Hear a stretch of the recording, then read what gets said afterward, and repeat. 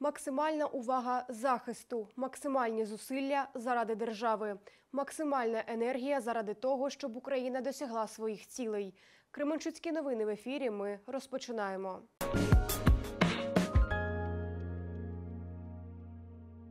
Завдання Кременчуцької громади постійно поповнювати запаси техніки та посилювати можливості захисників. Яким бригадам та що саме передали сьогодні, розкажуть наші журналісти. Кременчук намагається якнайшвидше виконувати всі запити військових. Сьогодні, 20 червня, допомогу отримали одразу дві бригади. Зарядні станції отримала бригада морської піхоти. У першу чергу це забезпечення зв'язку та електроніки. Зарядні станції допоможуть тримати всі пристрої завжди готовими до використання. Сьогодні одній з бригад морської піхоти передаємо зарядні станції для того, щоб хлопці мали можливість зарядити засоби зв'язку, зарядити дрони, зарядити ті електронні пристрої, які їм дуже допомагають. Це та допомога, яку Кременчук завжди надає підрозділам сил оборони. Ці зарядні станції моїм дронщикам допоможуть більше знаходитись в повітрі, виявляти ворога, і ми зможемо більш якісно його бити і звільнити нашу Україну. Дякуємо е, місту Кременчук за його допомогу. Мавік 3Т, обладнаний тепловізором, передали сьогодні славнозвісній 93-й окремій механізованій бригаді Холодний Яр. Хлопці і дівчата зараз захищають нас, роблять неможливе, успішно нищать ворога, яка- який прийшов на нашу землю. Дякуємо їм, наближаємо перемогу разом. Насправді 3Т він справді зберігає життя нашим хлопцям, бо вся робота в нас відбувається вночі. Е, Без очей ми просто не можемо відпустити ні вак, ні хлопців, ми не можемо нічого зробити.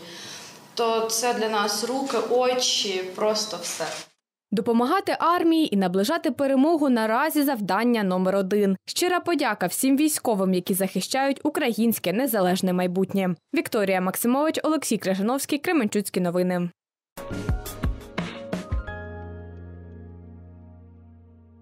За минулу добу служба ДСНС у Кременчуцькому районі запобігла загорянню автомобіля, загасила пожежу та допомогла жінці отримати медичну допомогу.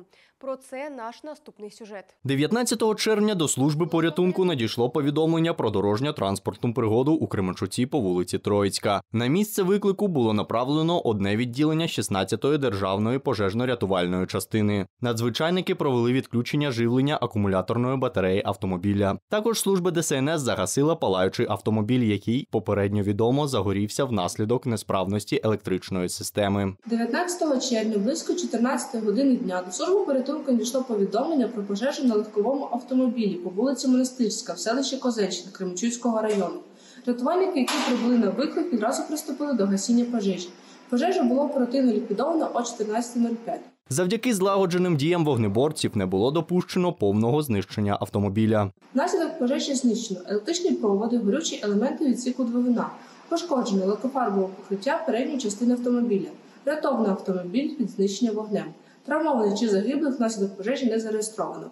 До гасіння пожежі залучалося 4 чоловіка особового складу 7-го державного пожежно-рятувального поста та одна одиниця пожежної техніки. Також 19 червня до служби порятунку надійшло сповіщення, що по вулиці Горліс Горського в місті Кременчук необхідно допомогти знести жінку з великою вагою до карети екстреної медичної допомоги. На місце відразу після виклику прибули рятувальники 14-ї державної пожежно-рятувальної частини. Працівники ДСНС за допомогою медичних нож знесли хвору до карети МД та МК для подальшої госпіталізації. Рятувальники продовжують працювати заради безпеки кременчужан і надалі. Дмитро Цирюльник, Кременчуцькі новини.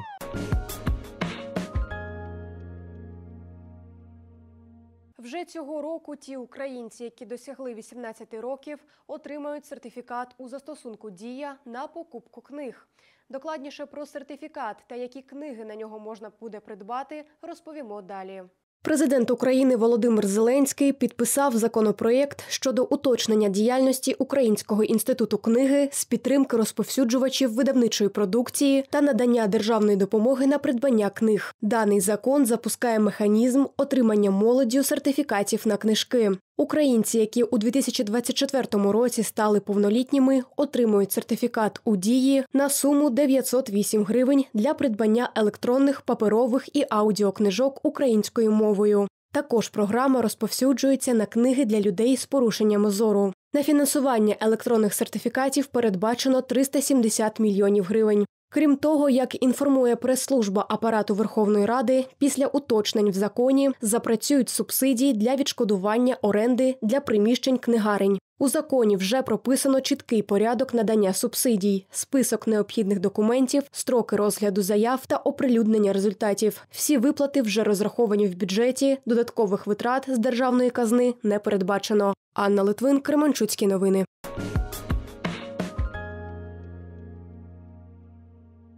Кременчуцький національний університет імені Михайла Остроградського завжди вражає своїми досягненнями. Цьогоріч у рейтингу топ 200 кращих університетів України він посів 42 місце, обігнавши усі вищі Полтавщини. Деталі дізнавайтесь у наступному сюжеті. Кременчуцький національний університет імені Михайла Остроградського вкотре показав свій високий рівень. Так, у національному рейтингу топ 200 найкращих університетів України Кременчуцький виш посів 42 місце, потрапивши у топ 50 та зайнявши найвище місце серед усіх університетів Полтавщини. Рейтинг топ 200 виходить 18 в нас в Україні. Проводить його е, міжнародна агенція Євроосвіта. Е, Кременчуцький національний університет посідає провідні місця в, в топ 200 Другий рік поспіль входимо в 50-ку найкращих університетів України. І цього року ми посіли 42 місце, покращивши на 5 позицій е, свої показники. І ми стали край найкращими серед е, закладів вищої освіти Полтавської області.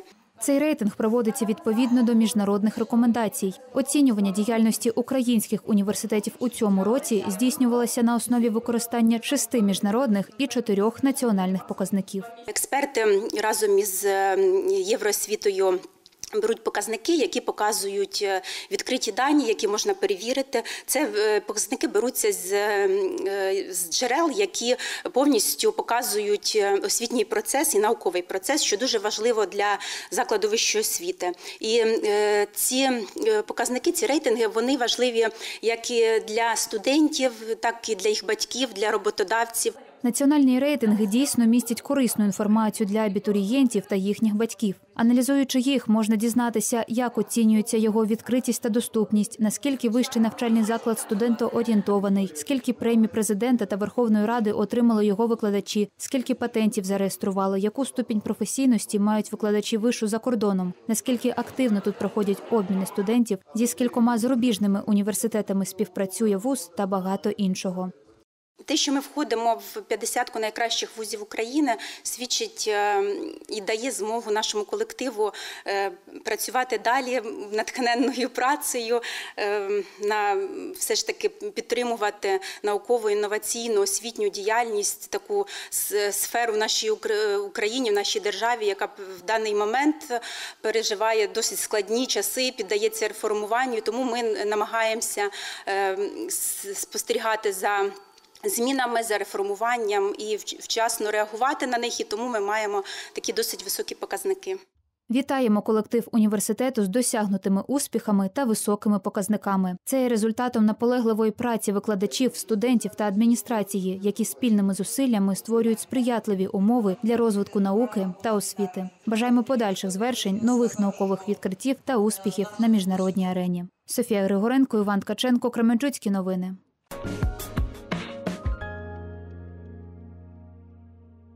Тепер військовозобов'язані, призовники та резервісти мають можливість підтвердити свій статус через QR-код у застосунку Резерв Плюс, завдяки якому відповідні служби зможуть перевірити їх військово-облікові документи. Детальніше про нові можливості цього застосунку далі у сюжеті. З 18 червня у застосунку Резерв Плюс з'явився QR-код, за допомогою якого відповідні представники влади можуть миттєво отримати інформацію про ваш статус як військовозобов'язаного, призовника або резервіста. 18.05, коли ми вийшли з релізом Резерв Плюс, ми пообіцяли публічно проанонсували, що 18.06 стане доступний електронний військово-обліковий документ, абсолютно рівноцінний документ паперовому. Це фактично цифрова революція в цій сфері, тому що ми, окрім того, що зробили електронний військово-обліковий документ, зробили обміни з іншими реєстрами. І зараз всі дані, які раніше потрібно було приносити на ксерокопіях, е, на документах е, офлайн в ТЦК та СП, певну кількість з них можна буде оновити онлайн без візиту до ТЦК та СП. За допомогою Резерв Плюс дані оновили вже понад 400 тисяч осіб, серед яких як чоловіки, так і жінки. Проте не всі змогли це зробити через певні помилки, що виникають у застосунку. Крім того, громадяни стикнулися із некоректним відображенням даних у своїх військово-облікових документах. Якщо ми бачимо, наприклад, що в е, е, паперовому е, документі є дані, які не співпадають з реєстром, і це мікро якісь помилки, да, тобто це там якісь прізвища і так далі, ми виправляємо це онлайн. Якщо там, наприклад, міститься інформація. Будь-яка, яка там неможливо виправити через взаємодію з реєстрами, то тут далі потрібно доробляти Якщо служба підтримки застосунку Резерв Плюс не змогла вирішити вашу проблему, необхідно звернутися до територіального центру комплектування та соціальної підтримки. Пам'ятаємо, що війна триває, тож докладаємо якомога більше зусиль, аби перемогти підступного ворога. Катерина Груднєва, Кремчуцькі новини.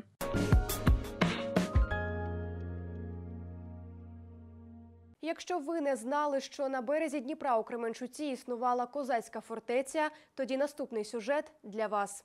Блогерка крапка крапка розповіла про козацький спадок Кременчука та багато іншого. Увага на екран.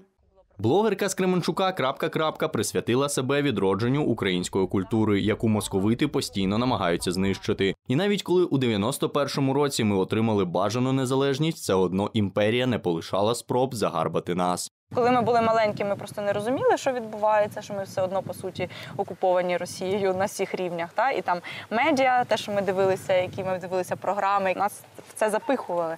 Українське обмежували постійно у розвитку. Так само там політика, юриспруденція, все це було окуповано москалями. Ми були просто маленькі, цього не розуміли, і здавалося, що війни не було. А потім, починаючи від революції гідності, та оце все розвивається. Так було в усі часи наші. В усі часи українці, е, якісь свідомі, намагалися повернути свою незалежність. І просто от виходить, що біда на нас постійно звалюється, але ми виживаємо, і це має надихати нас.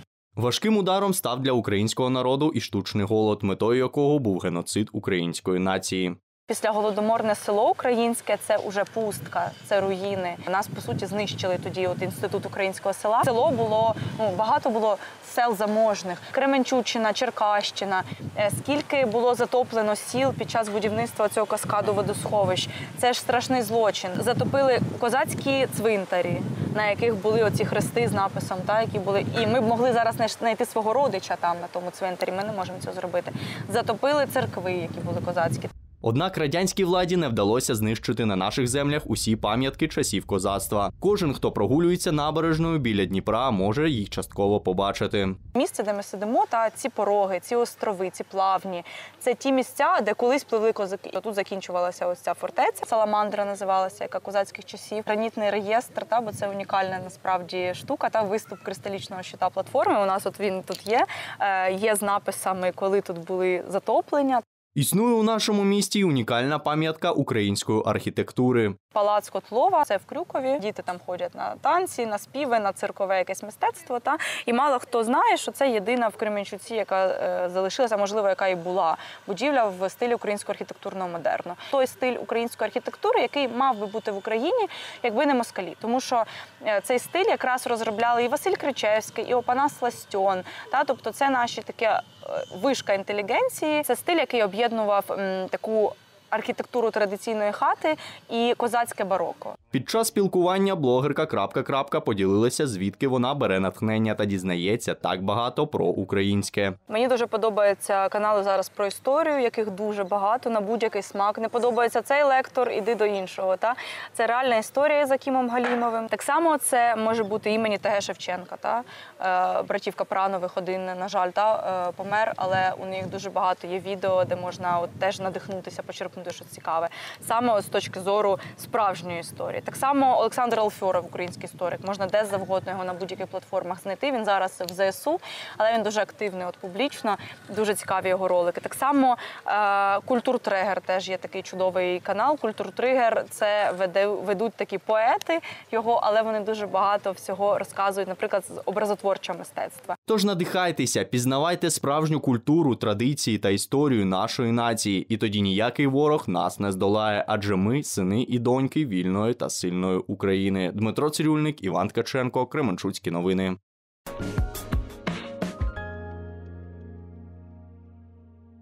Сьогодні у Кременчуці стартував турнір з футболу серед юнаків 2010 року народження Кремінь Кап, присвячений пам'яті загиблого на війні вихованця дитячо-юнацької школи МФК Кремінь Миколи Житкова. Усі подробиці далі.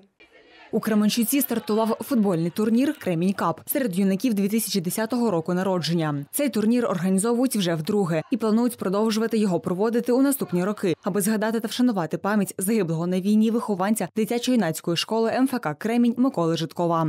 Цьогоріч у змаганнях беруть участь вісім команд з різних міст України.